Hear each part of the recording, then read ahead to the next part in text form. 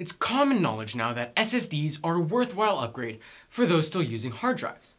But nowadays, people have the option of new fancy NVMe SSDs to replace the traditional SATA SSD.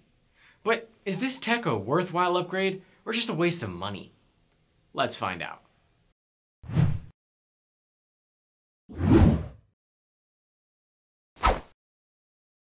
For those who don't know, SATA, or Serial Advanced Technology Attachment, is the current standard for storage controllers in modern computers. It was designed to go through an HBA, or host bus adapter, in order to monitor and communicate with the system. The current revision, SATA 3, has a maximum transfer rate of 6 gigabits per second, or about 600 megabytes per second. SATA devices these days almost always run in AHCI mode, or Advanced Host Controller Interface. Common form factors for these devices include the 2.5 inch drive and the M.2 drives, more on that later. Now, SATA SSDs also sometimes come in the mSATA form factor. That's mostly in like laptops, and it's again mostly been replaced by M.2, which more on M.2 in a second. Now, NVMe, or Non-Volatile Memory Express, was designed to be much faster to keep up with more modern needs. NVMe devices can operate over PCIe, or Peripheral Component Interconnect Express. There's a lot of acronyms here. The same connection that is shared with other devices, including your graphics card. Now, the current version of PCIe that's most widely used is version 3.0, with a transfer rate of up to 8 gigatransfers per second, which translates to 15.8 gigabytes per second on a full by 16 connection. Now, most NVMe devices only use a by 2 or by 4 connection, with by 16 typically only used for graphics cards, at least on a consumer level. Now, even with a 4X, that's 3.94 gigabytes per second, as opposed to the mere 600 megabytes per second on SATA. Another advantage of PCIe over SATA is that it can connect directly to the CPU itself without needing to go through an HBA. Now, this allows NVMe devices to reach much higher speeds with much lower latency than their SATA counterparts. So TLDR, NVMe is super fast compared to SATA. Typical form factors for these devices include expansion cards, similar to your graphics card, 2.5 inch drives that use a U.2 connector instead of a SATA connector, but the most common is the M.2 form factor. M.2 is a great compact interface for PCIe devices that is found in desktops and laptops, and which supports both NVMe and AHCI modes. Now, because of that, it is important when buying a drive to pay attention to whether you are getting a SATA or an NVMe M.2 SSD, and to ensure that whichever you get is compatible with your system. And once you install an M.2 drive of either variety, it is likely that certain ports or slots on your motherboard may become inactive as they share lanes. Now, for more information on how an M.2 device would work in your system, please consult your motherboard or system manufacturer or manual. Awesome. Now that we know the difference between SATA and NVMe, NVMe is just way, way faster and better, we can get to comparing them head to head in real world use. Now in the SATA corner, we've got an OCZ Trion 150 480 gig 2.5 inch SSD, rated at max sequential read and write speeds of 550 and 520 megabytes per second respectively. Now this specific drive isn't really sold anymore. I got mine about two years ago for 120 bucks, but currently you can find a 2.5 inch SATA SSD for around 70 $80 at most retailers, at the time of writing. Now in the NVMe corner, we've got a Samsung 970 EVO 500 gig M.2 SSD, rated at sequential read and write speeds of up to 3.4 and 2.3 gigabytes per second respectively. That's about six times faster. Now, I got the 970 EVO for about $120 around Christmas time. Now, that's an amazing deal, considering that I paid the same price for both drives only two years apart, but today, it's double the price of its SATA counterparts-ish. But it should still be a good deal. I mean, double price for six times the performance? Let's see the real world testing first. But before we begin testing, there's something very important I need to mention. If you are upgrading from a SATA SSD to an NVMe SSD, and you are wanting to clone your existing drive so as to not lose any of your existing data, you'll need to do an extra step during the cloning process to ensure that you can benefit from the full speeds. Now, normally, Windows formats your drive using MBR partitions or master boot record. Now, that's fine for smaller drives, under 2 terabytes, and for slower SATA drives, but for NVMe, it won't do. You need to use GPT, or GUID partition table. Now, this is traditionally only used for larger drives, but it is necessary in this case. Now, I recommend using a software like Minitool Partition Manager to do that. It has a feature specifically built to migrate your primary OS drive to a new device.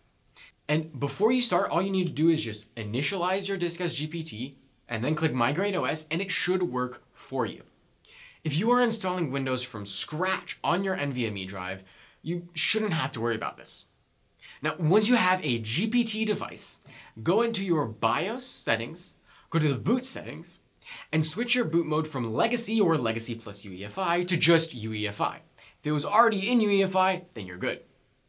Then set your new drive to the first boot priority. Okie dokie. So now that we know the difference between SATA and NVMe, and we've set up our drives correctly, let's get some actual real world performance numbers already. My first test was a boot test, obviously.